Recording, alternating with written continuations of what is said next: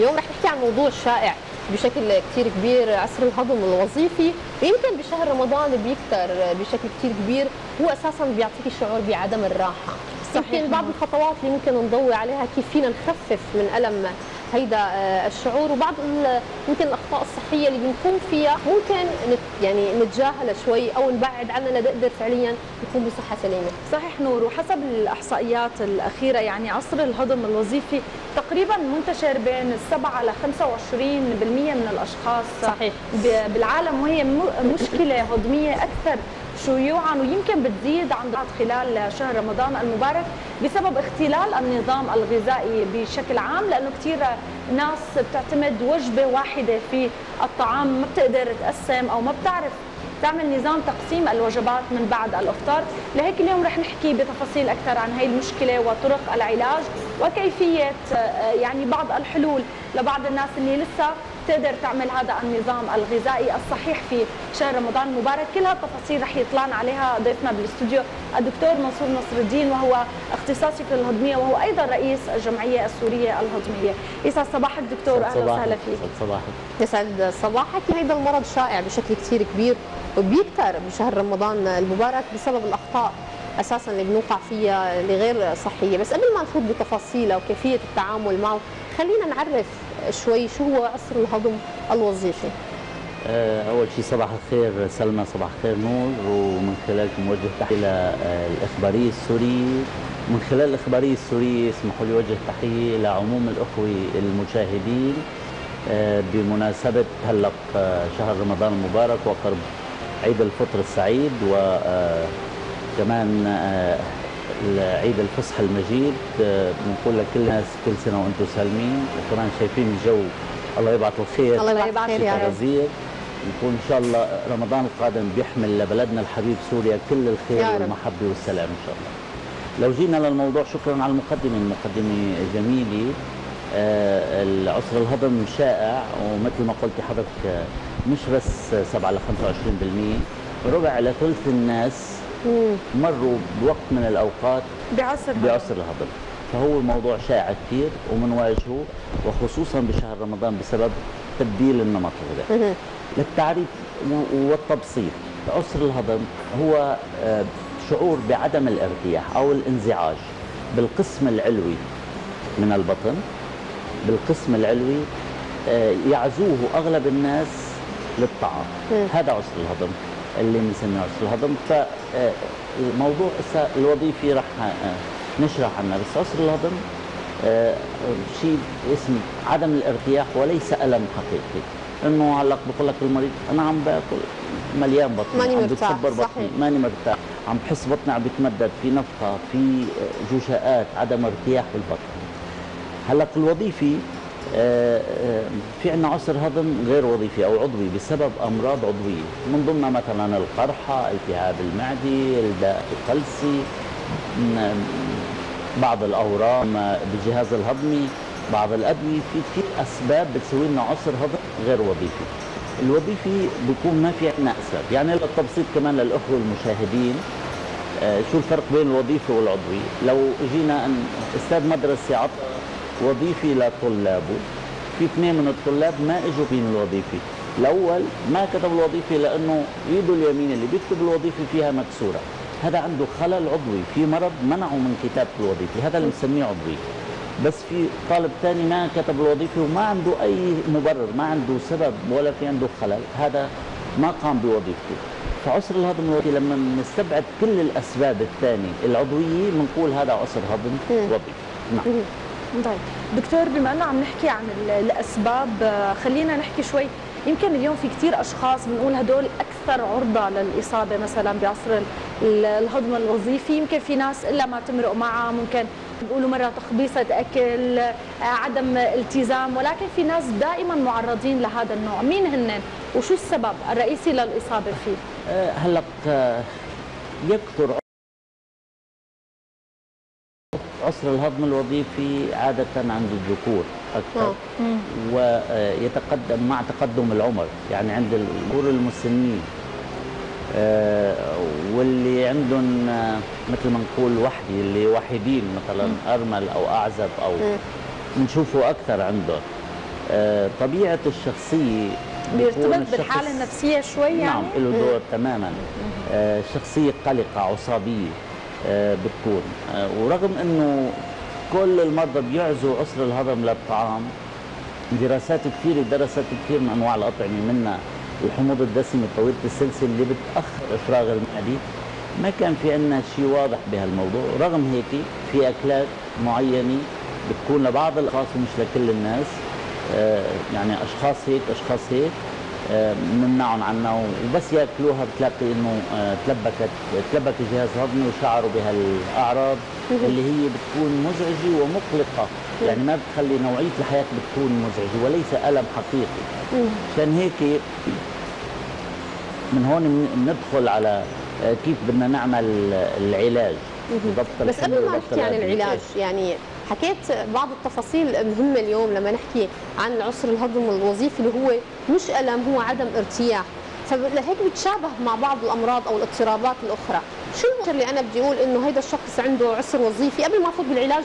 مشان ما يصير في اختلاطات. يعني أحيانا بيقول لك تشنج بالمعدة أو كولون أو مثلا عندي مشكلة بالأمعاء. لا بنقول هيدا عنده عسر آه، هضم وظيفي فعليا في عدة مؤشرات فينا نسلط الضوء عليها.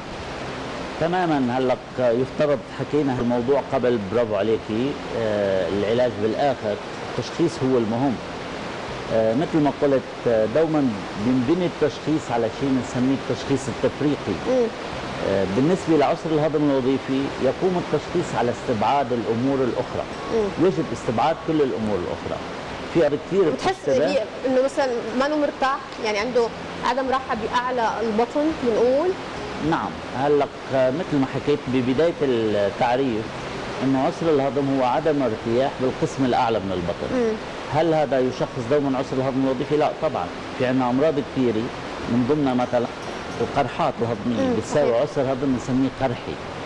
في عندنا مثلا عسر الهضم بسبب العصبي ممكن يكون من هاي الأمراض؟ اي طبعا. هاي اللي عم نحكي. يجب استبعاد الأمراض الأخرى. مثلا بعض الأورام اللي بتكون بالمعده أو بال نعم. 12 أو بالبنكرياس ممكن إنه تساوي هال الشعور بالثقل الأدوية اللي بيستخدمها بعض الأشخاص بيستخدموا أدوية مثلا في أدوية شائعة مثل الاسبرين مثلا. في بعض الناس بيتناولوا الكحول في بعض أمراض مثل الداء السكري بنشوف عندهم.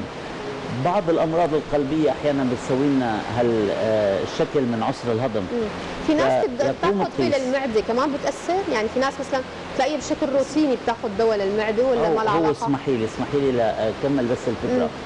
آه يجب إذا شخصنا عسر الهضم الوظيفي أن نستبعد كل الأمور العضوية. يعني مم. يقوم التشخيص على استبعاد كل الأمور العضوية. ويعني يقوم ذلك بالفحص. بأخذ قصة سريرية واضحة. بعدين الفحص بعدين إجراء بعض الاجراءات التحاليل المخبرية ممكن نساوي تصوير إيكو لاستبعاد مثلا الكتل والأورام واضطرابات الكبد خلل ال- حصيات المرارة أو ما شابه آه، وبالإضافة إلى ذلك ممكن نساوي تنظير هضمي علوي لنستبعد الكتل والأورام واحيانا ناخذ خزعات. لما بننفي كل الأمور اللي هي بنسميها عضوية بنقول هذا عندنا عسر هضم وظيفي فأصبح التشخيص يقوم بنفي الأسباب العضوية. بالنسبة للسؤال اللي حضرتك آه، حكيتيه اللي هو حبة حمايه المعده اللي بيستعملوها كل الناس. كثير بشكل آه، كبير. هلأ هذا استعمال خاطئ وهذا صحيح. يجب التنويه له بشكل منيح. سابقا مرت فترة كنا نقول إنه هذا الدواء آه، ما له تأثيرات جانبية وممكن استخدامه لفترة طويلة. لكن آه، لا اللي صار واضح تماما. طبعا بال 2007 عملوا دراسة باليابان. بعدين آه، ثبتت الأمور بعد 2016 بعدة دراسات إنه هذا الدواء اللي بسموه حماية المعدة استعماله المديد ولفترات طويلة له تأثيرات جانبية. من اهمها إنه بزيد نقص التروية القلبية وقوة الاحتشاءات بزيد الألزهايمر ال dementia آه بزيد الإصابة الكلوية بزيد تخلخل العظم. فأسباب كثيره سيئة. مشان هيك ما بنصح حدا ابدا ياخذه إلا بإشراف طبي. وفي حالات بنحتاج إنه نعطي فترة طويلة. يجب أن تكون بإشراف طبي حتى يستطيع الطبيب يعطي برنامج ويخفض الدواء آه، بشكل تدريجي وبنوصل لشيء بنسميه باللغة الطبية ال maintenance يعني الجرعة الداعمة. ممكن نضلنا على حبة مثلا اسبوعيا. أما بشكل يومي ولا فترات طويلة طبعا بيحمل خطورة وهذا الشيء سيء جدا. آه، ننهي عنه بشكل مطلق. نعم. طيب بما انه حكينا عن عصر الهضم الوظيفي. في كثير مشكلات صحية بيكون نصف الحل هو أسلوب الحياة. يعني أنا شو باكل شو بشرب العادات الصحية اللي بتبعها بتخفف من هذا الشيء تكون هي نصف العلاج. والنصف الآخر البعض بيحتاج لادويه يعني بتكون ملازمه بهذه الحالة بعصر الهضم الوظيفي كيف بيتكامل؟ طبعا أسلوب الحياة مع الدواء. آه ممتاز. يعني حجر الأساس بالعلاج هو آه تغيير نمط الحياة من الحمية بالإضافة للستريس والشدات تجنب الانفعالات وإلى آخره بالإضافة لبعض الأدوية اللي ممكن تكون لها دور مساعد. آه تغيير النمط الغذائي يعني بيحكي لك مثلا التدخين الكحول يفترض إنه آه في كثير ناس من المرضى بيقولوا لي إنه صعب اقطع التدخين. في هلأ برامج وفيها طرق بتخلي الواحد يقدر يستغني عن التدخين. تناول الكحول كمان ممكن آه إنه نتجنبه. بعض الأدوية اللي ممكن آه تكون لها تأثير سيء نستبدلها. في ناس مثلا بياخذوا بعض الادويه للمفاصل وهي قد تؤدي إلى أعراض عسر هضم بسبب دوائي كان يجب أنه نتجنبها. أحيانا شائع ببلدنا اللي نسميها المنحنيه البوابيه أو الحلزونيه البوابيه هي لازم أنه نتأكد أنه مو موجودة وإذا موجودة بنعطيها كورس علاجي لا نجتثها لأنه يعني متهمة بإجراء بإحداث أورام غير حميده بالإنبوب الهضمي فإذا كانت موجودة يجب أن نعالجها. طبعا تخفيف الشدة والقلق. ما في عندنا بالنسبة لعسر الهضم شخصية معينة. يعني هلأ في عندنا بعض المرضى بتكون لهم كاركتر معين. هذول هم بعض المرضى مثلا الكئيبين بيدخلوا بتشنج القولون وما شابه. بالنسبة لعسر الهضم الوظيفي ما في character معين. ولكن أغلب المرضى بيكونوا نمطهم قلق يعني nervous يعني عصبي قلق بحربس كثير بفكر كثير بدنا نحاول أن كثير نقول لهم المثل البسيط اللي يقولوا طنش تعش تنتعش. يعني خفف الشدة والقلق. بعدين نيجي عاد لبعض الأدوية اللي هي لها تأثير مساعد وداعم. إذا بتحبوا يعني بنذكر بعضها. مثلا ممكن إنه نستعمل بعض الأدوية اللي بتسرع إفراغ المعدة الدواء اللي بنسميه الميتوكلوبراميد اللي هو دواء بنستعمله كثير للاقياء فهذا بيفرغ المعدة مثل ال domperidone وأنا عم بذكر أسماء علمية مشان ما يكون في شيء تجاري. ال domperidone كمان بيسرع إفراغ المعدة فبيروح حس الامتلاء اللي موجود بيروح الجشاءات بيروح الخرف وعدم الارتياح البطني. أحيانا نحتاج لنعطي بعض الأدوية اللي هي حالة للقلق إلى فعل مهدئ وهيك عند بعض الشخصيات كمان. أحيانا إذا مثل ما قلنا إذا لقينا في شك بوجود المنحنيه البوابيه بنعطي كورس علاجي مع مثبطات اتش 2 أو أحيانا نعطي مثبطات المضخه اللي هي الأدوية الواقيه للمعدة إذا كان في عندنا أعراض. لأنه أحيانا بتقلد الأعراض بصير في عندنا حرقة وحموضة. وبتقلد الأعراض العسر الهضمي القرحي بشكل كبير يعني بصير في عندنا ألم صباحي وفارق ومع حس حموضة وبيرتاح على الأكل بيرتاح على الأدوية. فينا نعطي كورس علاجي مضبوط وليس دواء لا على التعيين خذ دواء وفل.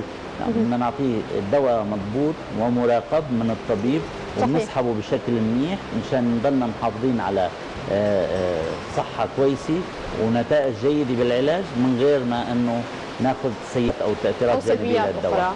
أكيد هي أهم شيء استشارة الطبيب كيفية العلاج الصحيحة. خلص وقتنا معك دكتور وأكيد نتشكرك على وجودك معنا وعلى كل المعلومات اللي حكينا عنها. شكرا كثير لك.